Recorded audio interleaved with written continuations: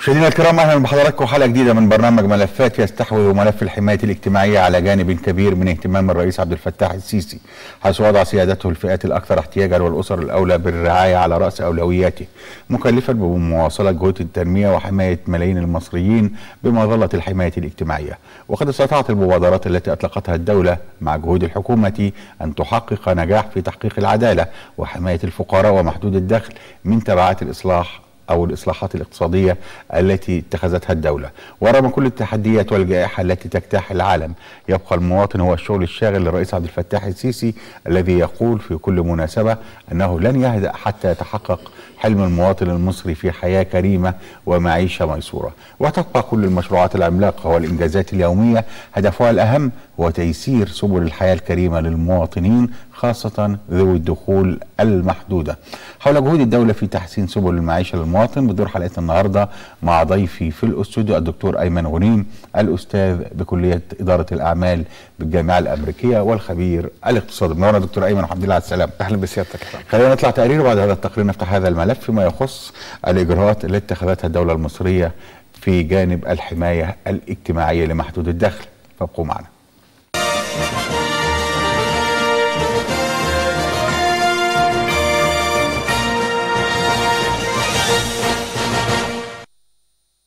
تحرص الدولة على تعزيز الحقوق الاقتصادية والاجتماعية للمواطنين كافة وقد امتدت الجهود الوطنية لتشمل إطلاق الكثير من المبادرات التي تصب في صالح المواطن مثل مبادرة حياة كريمة والتي أعطت مثالا إيجابيا يحتذى به في حق المواطنين في الحصول على ثمار التنمية بشكل متكافئ عبر تحسين جودة حياة أكثر من 60% من المصريين في نموذج مثالي للشراكة بين مؤسسات الدولة والمجتمع المدني وكذلك مبادرات تكافل وكرامة و100 مليون صحة والتي تهدف جميعها إلى تحسين جودة حياة الشعب المصري واحترام كرامته الإنسانية والوفاء باحتياجاته الأساسية وتوفير الحماية الاجتماعية له. وفي هذا الإطار ينحاز الرئيس عبد الفتاح السيسي دائما وبشكل عملي إلى محدود الدخل من موظفي الدولة عبر قراراته الاستثنائية لتحسين مستوى معيشتهم. وفي أحدث تلك القرارات وجه الرئيس برفع الحد الأدنى للأجور بنسبة 13% إلى 2700 جنيه من 2400 جنيه حاليا وكذلك إقرار علاوتين بتكلفة 8 مليارات جنيه للموظفين المخاطبين بقانون الخدمة المدنية وغير المخاطبين بالإضافة إلى زيادة الحافز الإضافي لكل الموظفين بتكلفة إجمالية تقدر ب 18 مليار جنيه واستهداف تعيين 30 ألف معلم سنويا لمدة خمس سنوات. بالطبع فإن تلك القرارات من شأنها أن تعزز من مفهوم العدالة الاجتماعية وتؤكد على دعم الدولة ومساندتها للفئات الأصحاب الدخول المنخفضة خاصة وأنها تخص جميع العاملين بالدولة كما أنها تأتي في سياق مساعي الدولة لامتصاص موجة التضخم التي تجتاح العالم بعد جائحة فيروس كورونا. كما تعمل الدولة على تحسين مستوى المعيشة والخدمات للمواطن من خلال ضخ استثمارات جديدة وبالتالي توفير المزيد من فرص العمل وتوصيل خطوط المياه والصرف الصحي لكل القرى وتوفير مئات الآلاف من السكن الاجتماعي الملائم وإنشاء شبكات الطرق والكباري والأنفاق والعمل على زيادة الإنتاج المحلي من خلال استصلاح أراض زراعية جديدة وإنشاء الصوب الزراعية وبالتالي تخفيض الأسعار وزيادة الصادرات بما ينعكس بالنفع على المواطن المصري.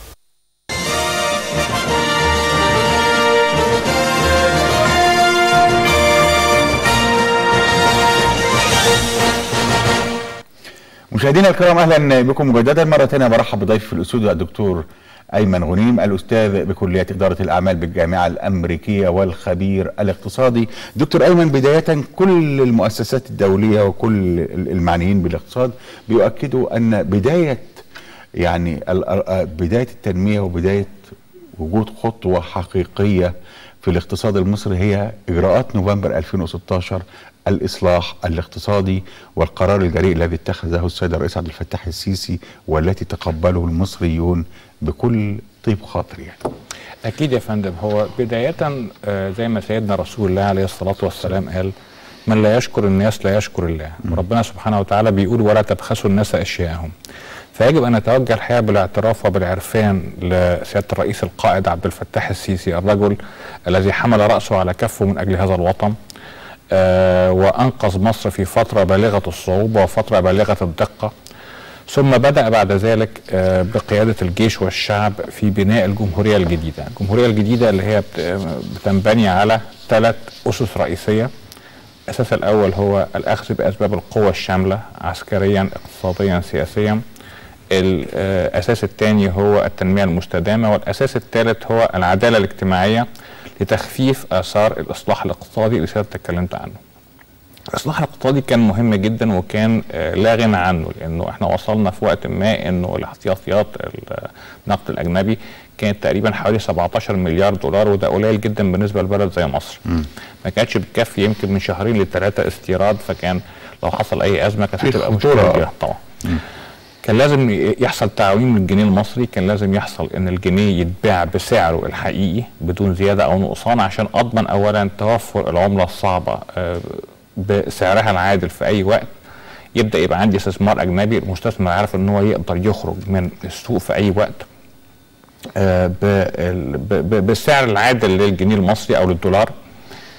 كان لازم إن أنا آه، أقلل عجز الموازنة كان لازم أرشد الدعم أوصل الدعم للمستحقين عشان بعد كده أبدأ يبقى عندي فائض آه، وإحنا اوريدي عملنا فائض أولي فائض أولي اللي هو ال- ال- ايراد نقص النفقات بدون النظر إلى خدمة الدين. يبقى عندي فائض أولي أقدر منه إن أنا أبدأ أصرف على ال- الخدمات الاجتماعية وأوصلها لمستحقيها تمام. خليني دكتور ايمن هنا أتكلم على ال- ال- ال- الدولة المصرية ومعدلات النمو التي حدثت. كنا بنتكلم قبل جائحة كورونا قبل 2019 كنا وصلنا تقريبا ل 5.6% نعم نعم. مع جائحة كورونا استطاع الاقتصاد المصري أن يحقق معدلات ليست هي المطلوبة ولكن نحن نتحدث عن جائحة تم فيها غلق لمعظم دول العالم حتى الكبرى يعني. نعم. وقدرت الدولة المصرية أن تحقق يعني نمو 2 و3 من عشرة نعم. في الربع الأخير من 2021 الدولة المصرية تقريبا عادت المعدل الأول اللي هو 5 و6 من عشرة نعم. وفي أمل أن يزيد هذا آه، المعدل الأسباب إيه اللي حصل رغم هذه الجائحة والله هو مصر من الدول القليلة اللي استطاعت تحقيق معدلات نمو موجبة في 2020 عام الجائحة.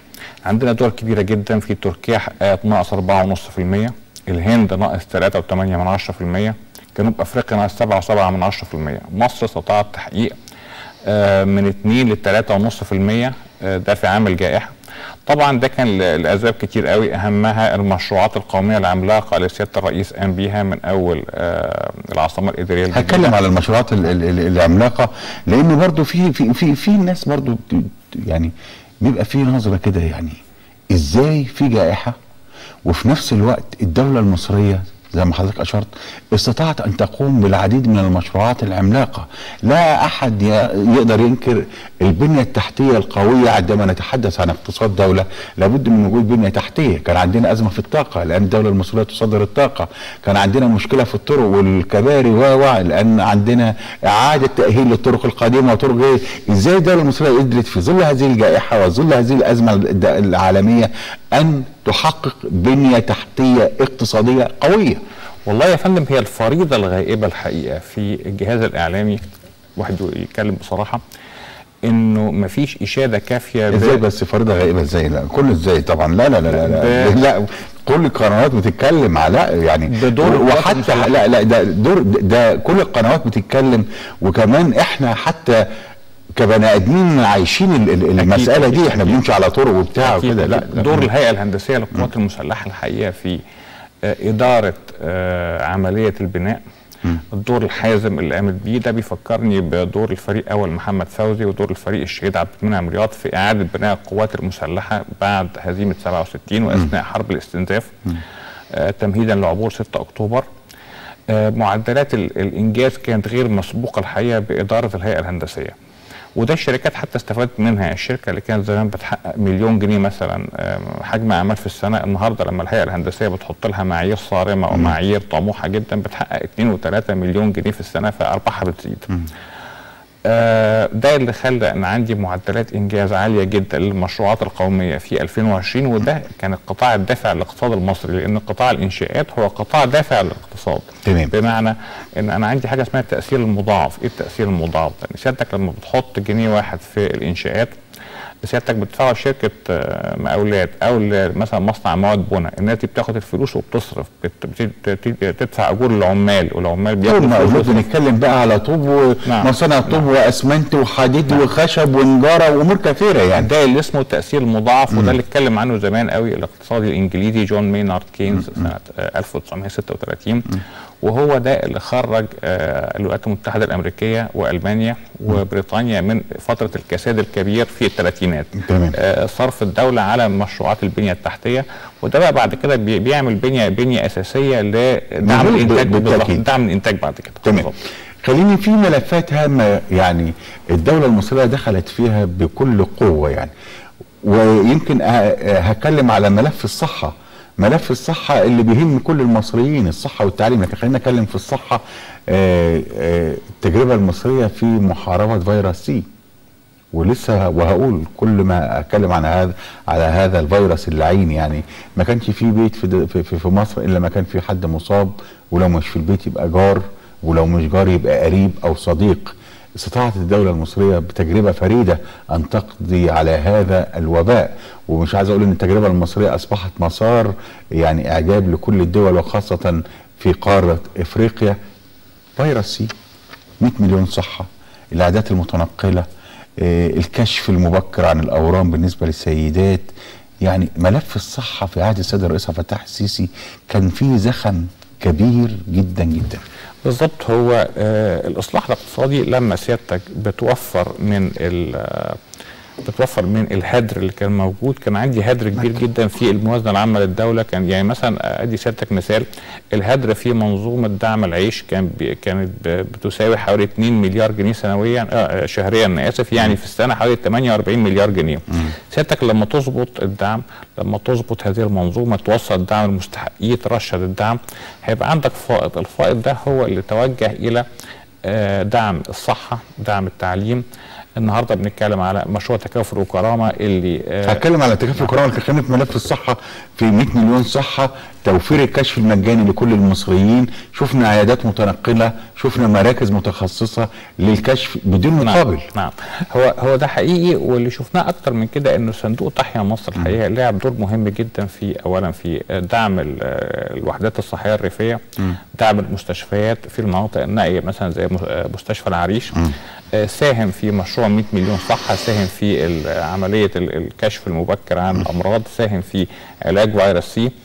آه، التجربة المصرية الحقيقة في آه، بالذات تجربة 100 مليون صحة والقضاء على فيروس سي آه، اتكلم عنها حتى برنامج الأمم المتحدة اتكلم عنها مؤسسات التمويل الدولية زي البنك الدولي وصندوق صندوق النقد الدولي. وكانت مسار إشادة لأنه هو ده الت... ده التنمية البشرية اللي هو أساس التنمية المستدامة. بالتأكيد بالتأكيد. خلينا نطلع تقرير بعد هذا التقرير برضه لسه هتكلم فيه مسألة يعني قطاع الصحة وطبعا قطاع الصحة لو اتكلمنا على حياه كريمة هو يعني في يعني أو مبادرات حياه كريمة ده موضوع كبير قوي بس أنا هخليه في في, في, في, نهاية حلقتنا. لكن بعد قطاع الصحة هتكلم على آه، ملف التعليم والمبادرة آه، يعني التي أطلقها السيد الرئيس عبد الفتاح السيسي منذ يومين قرارات خاصة بتعيين معلمين وكمان مسألة زيادة الأجور بعد هذا التقرير. فابقوا معنا.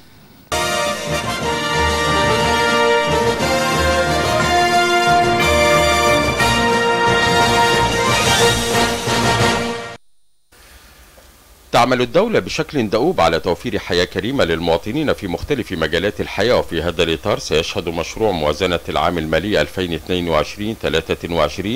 إنفاقا بشكل أكبر على تحسين حياة المواطن وتيسير سبل العيش الكريم تنفيذا لتوجيهات القيادة السياسية حيث من المستهدف تحقيق معدل نمو 5.7 من 10% من الناتج المحلي الإجمالي خلال العام المالي المقبل.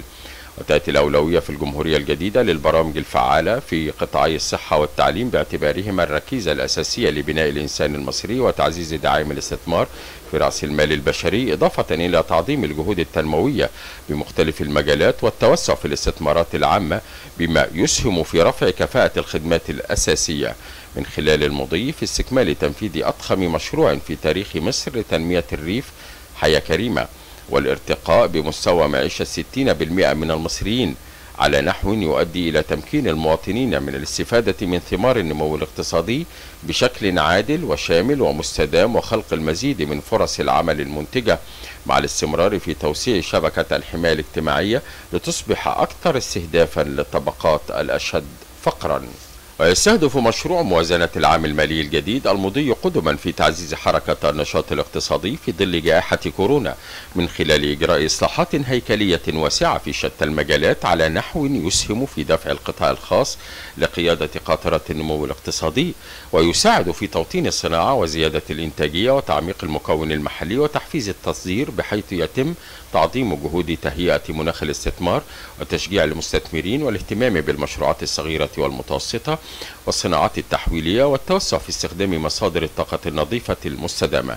كذلك يستهدف مشروع الموازنة الجديدة تقليل نسبة خدمة الدين الإجمالي مصروفات الموازنة إلى أقل من 30% مقارنة بمستهدف 31.5% خلال العام المالي 2021-2022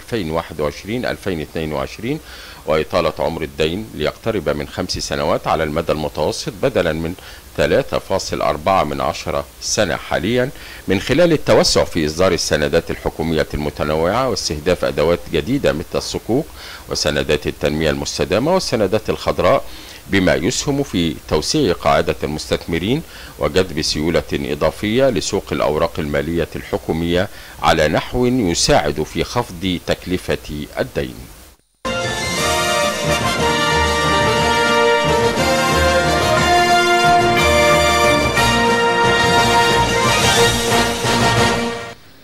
مشاهدينا الكرام أهلا بكم مجددا. قبل ما نتكلم بس على ملف التعليم باعتباره من الملفات الهامة آه، الموازنة العامة للدولة ومسألة حجز الموازنة. برضه عايز أوضح للسادة المشاهدين إيه اللي حصل في الموازنة العامة للدولة المصرية بعد القرارات الاقتصادية وبعد يعني هذا الكم من المشروعات العملاقة التي تمت على الأرض المصرية. والله يا فندم بخصوص الموازنة العامة للدولة وعلاقتها بالمشروعات القومية الكبرى إحنا لازم نفرق بين حاجتين، اولا ال- الإجراءات اللي اتخذتها الدولة المصرية لتقليل عجز الموازنة ده من ناحية وترشيد الدعم استيداء حقوق الدولة والموارد المالية اللي تم توفيرها للمشروعات القومية دي جزء كبير منها على فكرة كان من حصيلة بيع الأراضي ومن التعاقدات ومن القطاع الخاص وليس من القطاع العام. يعني مثلا العاصمة الإدارية الجديدة اتكلفت في المرحلة الأولى 800 مليار جنيه لم تتحمل منها الدولة شيء ولكن ده كان من حصيله التعاقدات وحصيلة بيع الأراضي والمنشآت والتعاقدات اللي بتتم في العاصمة الإدارية الجديدة. كذلك آه، آه، مدينة العالمين الجديدة. فيمكن الدولة تحملت مثلا تكلفة الطرق. إحنا بنتكلم إن إحنا اللي هو البنية التحتية نعم، الطرق نعم. الكهرباء المية. نعم. أضفنا برنامج الطرق المصري أضاف 7000 كيلومتر إلى شبكة الطرق المصرية وصل بيها لحوالي 30000 كيلومتر وده اللي حسن آه، يعني آه، تصنيف مصر في التنافسية الدولية الخاصة بالطرق من حوالي 118 عالميا ارتفعت ل 28 عالميا يعني بتتكلم سيادتك في 90 آه، 90 آه، Point يعني يعني. 90 بوينت أو 90 مركز. ده آه، كان آه، يمكن في بحر ست أو سبع سنوات. آه، بالنسبة لإجراءات آه، ترشيد الدعم وتقليل عجز الموازنة هي الحقيقة كان لها شقين، الشق الأول زيادة الإيرادات استيداء حق الدولة في الضرائب في ال- الرسوم ده من ناحية، من الناحيه الثانية ترشيد الدعم آه، إيصال الدعم للمستحقين لأنه ما ينفعش إنه آه، في سنة مثلا في سنة من السنين يبقى عندي 48 مليار جنيه دعم الخبز مهدر. ما ينفعش يبقى عندي الدولة بتدعم بنزين 95 اللي هو ب... لا، وناس. تمام يعني تمام. فالاجراءين دول مع بعض. ادوا إن أنا اولا يبقى عندي فائض أولي. فائض أولي ده اللي هو إنه الإيراد ناقص المصروفات ده يبقى بال- بالموجب. تاني حاجة آه تقليل ال- العجز الكلي. تقليل العجز الكلي إحنا بنتكلم كان حوالي يمكن أكثر من 13 إلى 14% قبل 2013 آه 2000 2021 2020 2021 وصل إلى أقل من 7% مستهدف بعد كده بتتكلم سيادتك في آه 5.7 من 10% ده المستهدف في في السنوات القادمة. يعني بتتكلم كأن سيادتك قللته بحوالي النص. آه ده اللي بيمكن الدولة بقى من إن هي آه، تصرف بشكل آه، عملي وتصرف بشكل آه، جاد على على المحدود الداخلي تمام. الطفل اتكلم بقى هنا على ملف التعليم وقرارات السيد ال- آه، السيد الرئيس عبد الفتاح السيسي بتعيين 30 ألف معلم سنويا لمدة خمس سنوات 150 ألف والعلاوات التي أقرها لمحدود الدخل والعاملين بجهاز الدولة. كيف يمكن أن تؤثر هذه القرارات في مستوى معيشة الأفراد حتى يعني؟ والله هو قرارات التعيين دي لها أكتر من آه، شق ولها أكتر من تأثير. التأثير الأول هو تأثير آه، مباشر إنه أنا بعين 30 ألف واحد بقلل البطالة بحسن من نسبة المدرسين للطلبة بقلل كثافة ال- الطلبة بالنسبة للمدرسين وكثافة الفصول طبعا لأن بتوسع النهاردة في عملية بناء المدارس. فده تأثير مباشر. التأثير غير المباشر هو أنه كل ما سيادتك تزود التشغيل. ده بينعكس بالإيجاب على الاقتصاد بشكل عام لأنه الناس كلها دي بت- بتاخد فلوس تبدأ تصرف منها. تصرف بقى في الأكل في الشرب في الخدمات في المواصلات في. المواصلات فكل الدولة بتستفيد فهي لها تأثيرين الحقيقة. آه وده برضو آه قرار السيد الرئيس بزيادة ال- الحد الأدنى للأجور الحكومية من 2400 ل 2700 جنيه. ال 300 جنيه دول لما سيادتك تضربهم في عدد موظفي الدولة وتشوف بقى بيلفوا كام مرة في مليارات. الاقتصاد. طبعا مليارات. وبالتأثير المضاعف اللي إحنا لسه بنتكلم عنه. آه، ده بيزيد من الطلب على السلع والخدمات بيعمل توازن قوة شرائية وفي استهلاك وفي إنتاج بيحصل ل- بالظبط. لمواكبة الاستهلاك ده والحركة بت- بتبقى أكتر بالتأكيد. خليني أتكلم هنا على مسألة هامة جدا هو مسألة آه، تطوير العشوائيات والمناطق الغير آمنة وما قامت به الدولة المصرية من جهود جبارة فعلا. إحنا بنتكلم في فترة قليلة جدا. استطاعت الدولة المصرية أن تنشئ 14 مدينة جديدة. بنتكلم تقريبا على 350 ألف وحدة سكنية تم إنشائها لأهالينا اللي كانوا موجودين في المناطق العشوائية. هذا الملف كان ملف. يعني يؤرق الدولة المصرية في عز ما تلاقي مكان في وسط القاهرة. مثلا كنت تلاقي مثلث مسبيرو بالظبط. منطقة عشوائية في. وسط القاهرة. وفي وفي في, في محافظات كثيرة مسألة العشوائيات على أطراف القاهرة أيضا كمان. يعني الملف ده يعني كيف استطاعت الدولة المصرية أن أن أن تقوم بهذا الملف وأن تقوم بهذه الإنشاءات الكبيرة في النهاية لتحسين حال المواطن بالتأكيد والله هي الدولة وضعت خطة طموحة للقضاء على العشوائيات وتطويرها. من أول بناء حي الأسمرات لغاية بناء آه، يمكن أكثر من 20 مدينة من مدن الجيل الرابع على مستوى الجمهورية. الجيل الرابع ده عشان الناس تبقى فاهمة هي إنه آه إحنا تجربتنا قديمة مع المدن الجديدة. من أول زمان مدينة 15 مايو ومدينة العاشر من رمضان دي كانت الجيل الأول. بعدها الجيل الثاني فالثالث فالرابع الرابع ده اللي هو أكثر تطورا بخصوص الخدمات وبخصوص التخطيط. آه لغاية آه تطوير مثلا منطقة غيط العنب في اسكندرية لغاية آه بناء مثلا أو إنشاء مصرف بحر البقر وبالتالي آه طبعا أكبر محطة تحلية بالظبط بالظبط. آه. يعني آه تحسين حياة كل الناس اللي هم على هذا المصرف بعد ما كان ده آه مكان للتلوث ومصدر، و- ومصدر. للتلوث. أصبح النهارده آه عملت عليه محطة تحلية بت بتروي أكثر من 300 ألف فدان من 300 ل 400 ألف فدان في في, في, في شبه جزيرة سيناء. الحقيقة كل هذه الجهود زي ما قلنا هي لها تأثير آه، بشكل مباشر على الناس اللي هم بيقبضوا الفلوس بتاعة تنفيذ هذه المشروعات وبشكل غير مباشر على آه، الاقتصاد الكلي زيادة الطلب على السلع والخدمات وعملية آه، يعني إيجاد حركة في السوق. تمام. هنا برضو عايز أتكلم يعني في وأنا بتكلم على الحركة في السوق أتكلم برضو على الدولة المصرية وما قامت به في مجال هام جدا هو مجال الزراعة. إحنا بنتكلم على آه، آه، الدلتا الجديدة مستقبل مصر بنتكلم على مليون ونص فدان بنتكلم على مئة ألف صوبة زراعية بنتكلم على مشروعات زراعية كبيرة جدا للتعويض بالتأكيد لما حدث بعد 11 يناير من تعدي على الأراضي الزراعية بشكل فج يعني بنتكلم على أراضي من أجود ال- ال- الأراضي الزراعية سواء في الدلتا أو في مناطق أخرى يعني. هنا برضو عايز أقول في عز جح جائحة كورونا دكتور دكتور أيمن كانت الصور اللي بتيجي من الخارج تحس إن في عجز في السلع اللي هي السلع العادية اللي هي بتاع كل يوم يعني. الدولة المصرية لم تتأثر بذلك بل بالعكس في ظل جائحه كورونا الدولة المصرية كانت تتصدر الدول في تصدير الموالح لليابان ولدول آه، أخرى. كانت تتصدر في مسألة البطاطس الاتحاد الأوروبي والمملكة المتحدة. تأثير هذه المشروعات المشروعات الزراعية في اولا سد الحاجة داخليا ومسألة التصدير وتأثيرها على الاقتصاد في الآخر. والله هو إحنا زي ما قلنا إنه آه، من أسس من الأسس الفكرية للجمهورية الجديدة هي الأخذ بأسباب القوى الشاملة سواء عسكريا زي ما قلنا أو سياسيا أو اقتصاديا، اقتصاديا بنتكلم زراعيا صناعيا اكتفاء ذاتي تقليل الاستيراد زيادة التشغيل. أنا عندي النهارده مشروع المليون ونص فدان اللي سيادة الرئيس عبد الفتاح السيسي الحقيقة آه، مهتم جدا بيه من ساعة ما تولى. هذا المشروع إحنا الناس مش فاهمة إنه أكتر من 88% من المياه اللي هيشتغل عليها هي مياه جوفية بعيدة عن نهر النيل وأزمة المياه وفكرة توفير المياه. لا ده أنا بشتغل على مياه ب- بعظم استخدام مواد الطبيعية. زراعة مليون ونص فدان. ببدأ إن أنا آه، أحقق اكتفاء ذاتي. وبرضه هنا أنا لا يسعني سوى أن أذكر إن القوات المسلحة بت بت بتزرع لوحدها جهاز الخدمة الوطنية حوالي 40 ألف فدان في منطقة شرق العوينات بتنتج منها حوالي 78 ألف طن قمح سنويا بيتم توريدها بالكامل إلى هيئة السلع التموينية لدعم محدود الدخل. ده برضه يعني الشيء بالشيء يذكر يعني. آه بالنسبة للنهضة الزراعية هي الحقيقة نهضه زراعيه غير مسبوقة.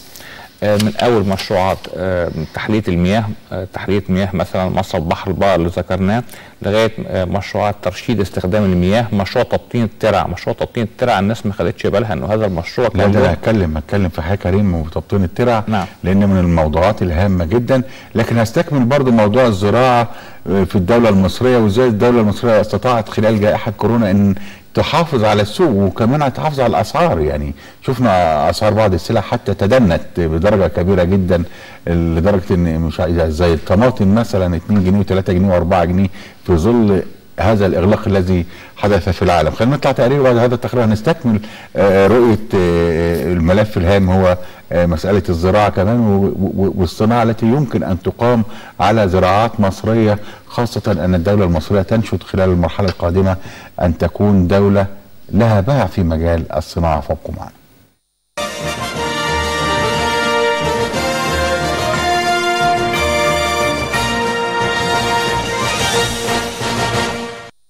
منذ العام 2014 انخرطت مصر في برامج إصلاح بمنطق جديد يصبو فعليا إلى جعل التنمية الاجتماعية مدخلا للإصلاحات السياسية والاقتصادية.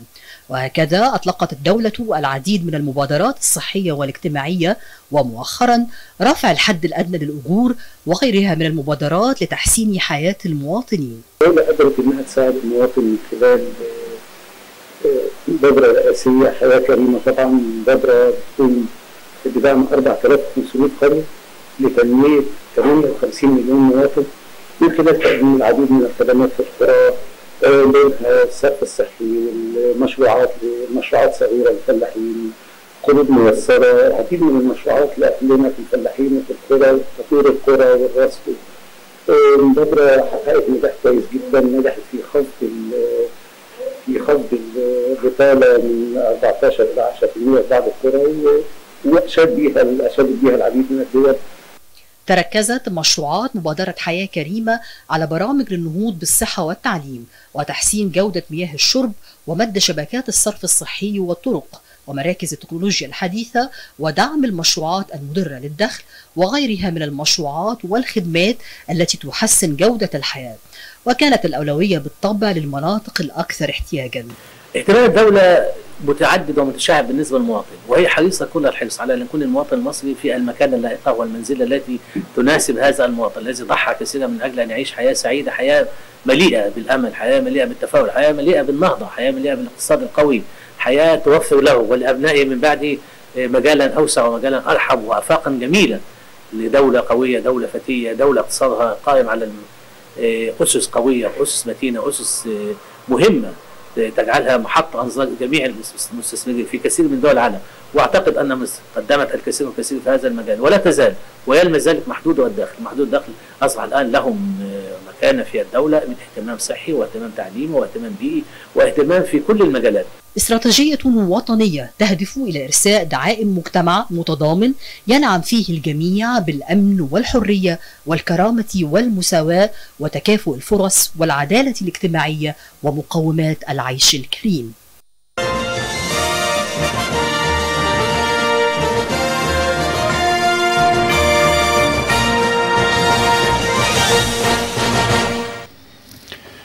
مشاهدينا الكرام أهلا بكم مجددا آه، ملف الزراعة وعايز اطلع من ملف الزراعة أخش في مسألة الصناعة. يعني الدولة المصرية تنشد أن يكون هناك يعني صناعة مصرية يعني. ويمكن حتى قبل الجائحة كنا بنتكلم على أهمية صناعة في مصر وأهمية الصناعة المصرية.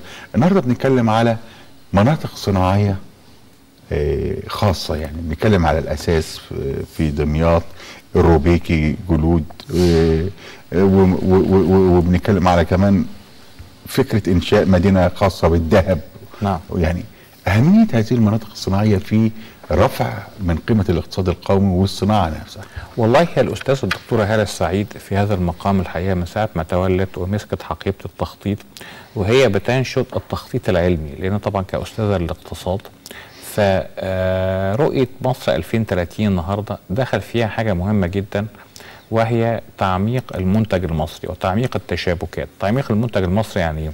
يعني أنا النهارده لو عندي منتج آه، مثلا زي العربيات مثلا ال component أو ال ال يعني الجزء المحلي منه يساوي مثلا 40% 60% منه مستورد 40% ده بيبقى الإزاز بيبقى ال- العفش الداخلي مثلا اللي هو الكراسي ال- البلاستيك مش. عارف الضفيره مش عارف. السلوك كده. البطاريات الكلام ده.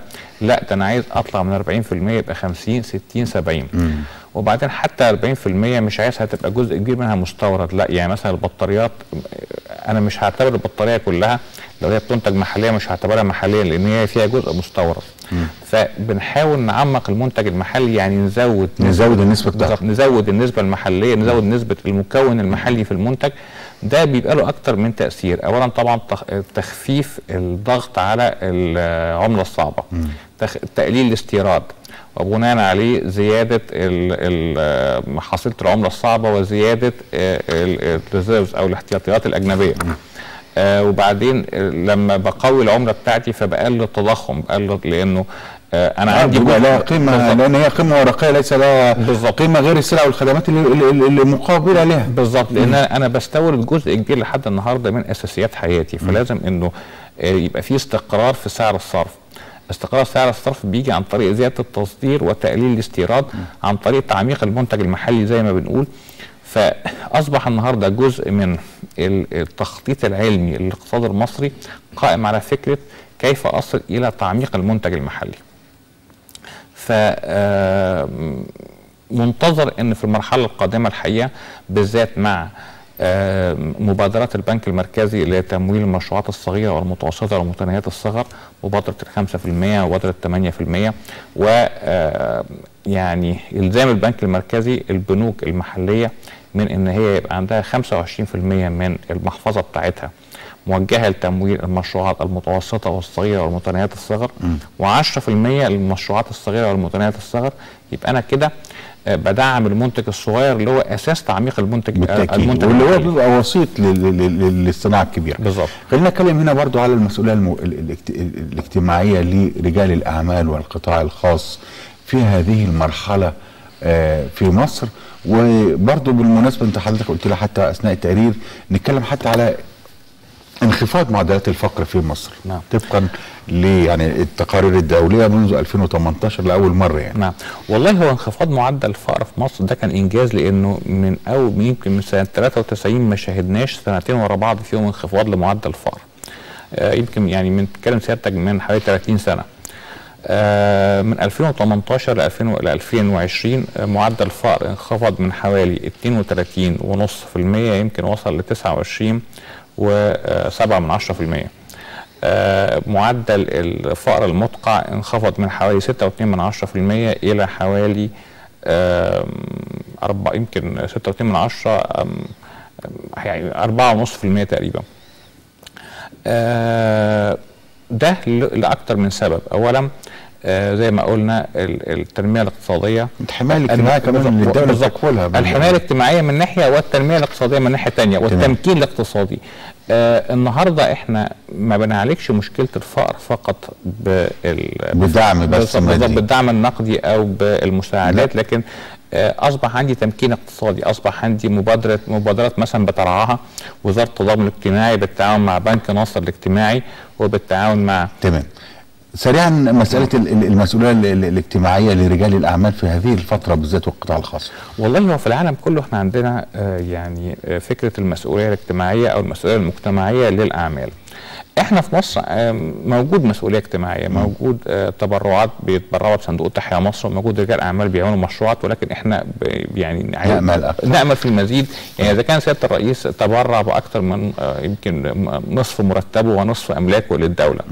وإذا كان رجال الاعمال النهارده بيشتكوا إنه في نوع من ال- يعني عند بعض الشرائح في المجتمع هناك مشاعر ليست مشاعر ودية قوي تجاه رجال الاعمال فبنطمح في وجود دعم أكتر بنطمح في وجود إنه رجال يعم- يعملوا أوقاف يعملوا آه، تخصيص لجزء- مبادرات بالظبط. حتى للشباب الصغير أو بالظبط. شباب الخريجين خاصة من ال- الكليات ال- نقول العملية حتى بالظبط. يساعدوهم في المشروعات الصغيرة والمتوسطة يبقى في صندوق خاص بهذه المشروعات لمساعدة شبابنا.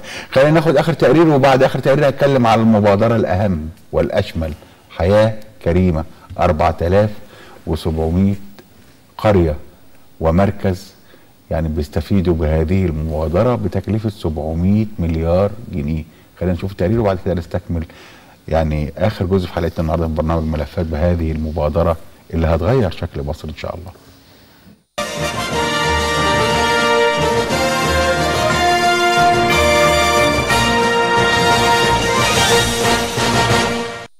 خطت مصر خطوات مهمة على طريق تعزيز شبكة الحماية الاجتماعية لضمان مستوى معيشي مناسب لمحدودي الدخل والفئات الأكثر احتياجا. وهو ما تجسد عبر توفير الكثير من فرص العمل وتأهيل العنصر البشري باعتباره الغاية والوسيلة في عملية التنمية. القنوات الجديدة اللي اقرها السيد الرئيس اللي هي 7% المخاطبين بالقانون الخدمة المدنية و13% غير المخاطبين. دي حتى بتكلف الدولة 8 مليار بالإضافة لحافز الإشارة بيكلف الدولة 18 مليار. فدي هتبقى حاجة مباشرة لل- للمواطن لتحسين محدود الدخل آه، تحسين الدخول لمحدود الدخل والطبقة المتوسطة. فلازم ضبط الأسوار. ما في علاوة يبقى في ضبط أسوار. ساعتها المواطن العادي هيحس وهنمنع نسب التضخم ويحس إن في فايدة عادت عليه.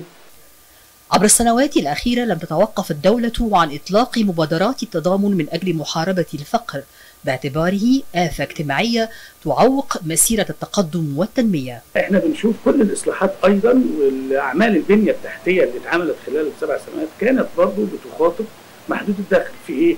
آه، بنية تحتية في الصحة، بنية تحتية في التعليم، آه، بنية تحتية في آه، الخدمات ده كله ساهم في توفير خدمة مناسبة بسعر مناسب لمحدود الدخل. سواء في الوحدات السكنية اللي أنت شايفها النهارده بقت وحدات سكنية آه، مبادره آه، سكن لكل مواطن ومبادرة آه، ال- ال- اللي هي ال- مبادرات البنك المركزي في دعم اللي هو التمويل العقاري اللي على 30 سنة. و- ومبادرات أخرى بتوفير مسكن باسعار على 20 سنة. دي كلها آه، مبادرات ساهمت في تخفيف الاعباء عن كاهل المواطن. برامج اجتماعية تضع الإنسان في صلب الأولويات وتركز على منظومة قوية من القيم والمتمثلة أساسا في احترام كرامة الإنسان وتعزز في نفسه الشعور بالمواطنة.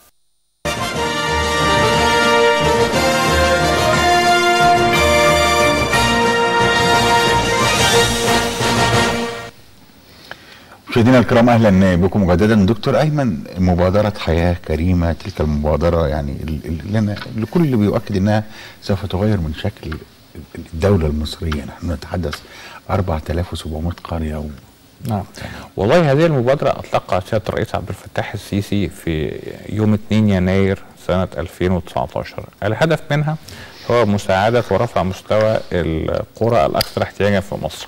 وهي الحقيقة بتشتغل بأسلوب علمي بتخطيط يعني متدرج على ثلاث مراحل. المرحلة الأولى سيادتك بالتعامل مع القرى اللي هي فيها نسبة فقر أكثر من 70% أو 70% فما أكثر المرحلة الثانية اللي هي نسبة الفقر من 50 ل 70% المرحلة الثالثة نسبة فقر أقل من 50% آه، إحنا النهارده في المرحلة الأولى وتعاملنا لحد دلوقتي مع حوالي 377 قرية. يعني بنتكلم في حوالي 750 ألف أسرة حوالي من 3 ل 3.5 مليون فرد استفادوا منها.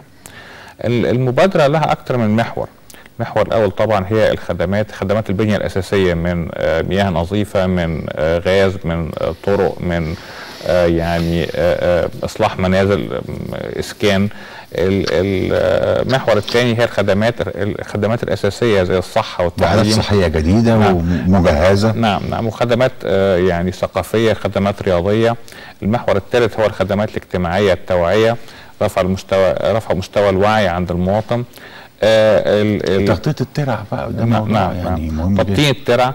آه. تبطين وتبطين الترع ده مشروع الحقيقة يعني مهم جدا لاكثر من سبب. اولا لأن هو تلوث بالظبط. والعجز في المياه والمياه اللي كانت. بتتسرب. وامور كثيرة يعني التلوث والعجز في المياه وأهم من كده كمان إنه هو بيساهم على الحد من البلهارسيا نعم. آه لإنه آه ال- ال- البلهارسيا بت ال- القواقع بتاعتها بتبقى في ال في ال يعني في الطين وفي ال وفي الهيش اللي هو بيبقى موجود في الترع فده بيساهم في الحد من البلهارسيا اللي هي أصلا كانت سبب فيروس سي. بالظبط كانت سبب في فيروس سي آه من ضمن برضو محاور آه مبادرة حياة كريمة هي التمكين الاقتصادي و آه، دعم ال- دعم المرأة المعيلة وتوفير آه، فرص عمل وتوفير آه، قروض ميسرة للمرأة المعيلة. خاصة إن إحنا بنتكلم على نسبة كبيرة من المرأة المعيلة الكلام 30% لا 40% لا 50% المهم إن في نسبة كبيرة من السيدات المعيلات للأسر يعني ودي نسبة مش سهلة يعني. بالظبط.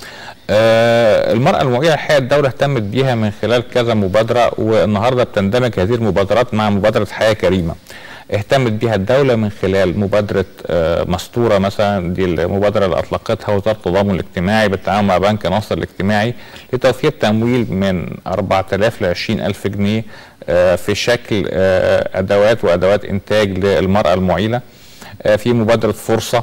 مبادرة فرصة دي يعني للمرأة المعيلة ول يعني كافة المواطنين توفير فرص عمل وفرت حوالي 30 ألف فرصة عمل وأكثر من 50 ألف قرض ميسر للمرأة المعيلة من خلال مبادرة فرصة. آه، كل دي الحقيقة مجهودات قامت بها الدولة المصرية لأنه من أول يعني أول مرة من فترة طويلة جدا نلاقي إنه مجهود الدولة المصرية بيبقى في شكل فريق عمل ما بيبقاش آه، يعني جزر منعزلة لا. بالظبط- بقى في رؤى استراتيجية بالظبط. للدولة المصرية في كافة بالظبط. المجالات. يعني. وفريق عمل يعني زي بالظبط أوركسترا بيقودها مايسترو واحد بتعزف لحن واحد وكل واحد عارف دوره وكل واحد بيتعاون مع ال- الهيئة الهيئة الأخرى أو بيتعاون مع زميله. تمام. نورتنا يا دكتور أيمن. الله يخليك. كل الشكر والتقدير لضيفي الدكتور أيمن غنيم الأستاذ بكلية إدارة الأعمال في الجامعة الأمريكية والخبير الاقتصادي. كنت ضيفا عزيزا في هذه الحلقة من برنامج ملفات. والشكر لفريق أعمال الملفات لهذا اليوم رئيس تحرير وليد محمود والمخرج الكبير مدحت الزهيري. وشكر كل الساده المشاهدين على حسن المتابعة. ألقاكم دائما على خير. إلى اللقاء.